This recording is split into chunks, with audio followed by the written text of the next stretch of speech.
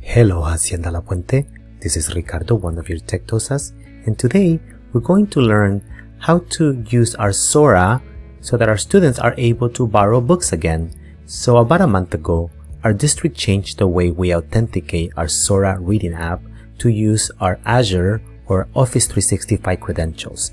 This is causing an error that when our students are logging in, it is remembering their old username and password and it's not allowing them to borrow books. So in order to fix this, um, what you need to do is very, very simple.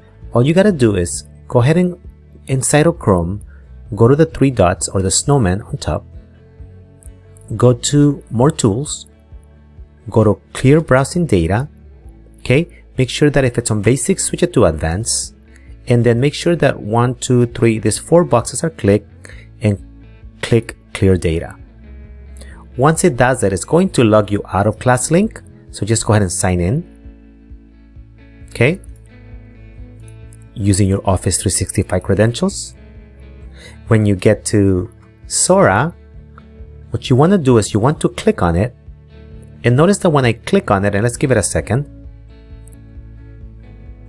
it's not going to log me in automatically. This is exactly what we want to happen for our students. It's going to ask you to select school. Go ahead and click and you want to pick Hacienda La Puente.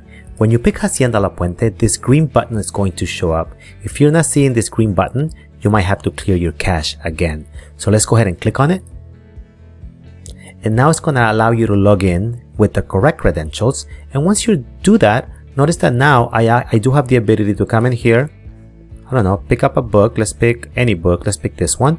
And when I click borrow, I'm not going to get that error. It's going to say borrow and it's going to open the book. If you have any questions, please contact any of your Tech TOSAs. Have a great day.